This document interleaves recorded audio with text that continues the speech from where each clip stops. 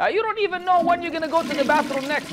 خلاص يعني خلاص يا human being shrink shrink حاجتك كبر لي مخك قد كده مفتكر لي حالك شي ديناصور ولا شي جبل خلاص يا شيخ خلاص تخنت بقى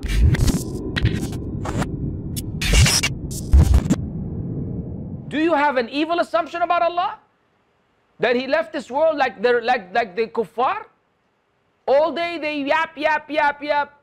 If God was there, there would be nobody dying in Africa from starvation. If God was there, then why is there all this suffering in the world? If God was there, then He would have helped me when I needed help. This is the mentality of the disbelievers. They think that to them God is a vending machine. God is a vending machine. You put one dollar, you press B3, and a Kit Kat falls out. Now, what you doing? What you thinking? You little creature, crazy human being. You need to chill, man.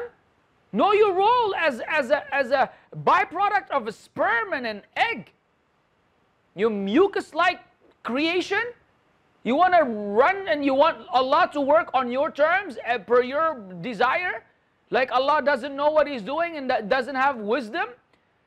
That He legislated what He legislated, that He allows the suffering to happen? If there wasn't suffering, then none of this world would make sense. If there was no, if there was no suffering, there would be no life to come. People wouldn't have glorified Allah Azza wa Jal. Look how many people find Allah. Most people find Allah in the most distressful situation. Most people return to Allah in the most in the worst of affairs and when they're going through the hardest times. Suffering is the closest bridge to Allah Azza wa Jal. Is the is the firmest, most fortified, the strongest bridge to Allah is through suffering, through struggling. Most people that have been guided to Islam and to Allah is when they went through some real hardship. I'm an example, and many of you are who are watching are an example as well. You want that suffering to go away? You just want to be, you know, all day just running in the in the street. Oh God, oh God, you want God just to do everything you want, and you you okay now I believe in you, God. You want God to appear before you so you can believe in Him. You want God to speak to you directly so you can believe in Him. You want God to do miracles just tailored and customized for you, you can believe in Him. Then then you're the God. At this rate and at this point, you're the God. You're dictating what should happen, what shouldn't happen. Ya Sheikh, حل عني يا شيخ.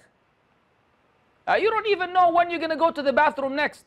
خلاص يعني خلاص يا human being shrink shrink حاجتك كبر لي مخك قد كده مفتكر لي حالك شي ديناصور ولا شي جبل خلاص يا شيخ خلاص تخنت بقى والله العظيم every day we hear crazy I mean والله what, what do these human beings want billions of them all over the world what do they want everybody's a philosopher everybody knows everything about every subject matter they want to discuss everything Thanks for watching this video.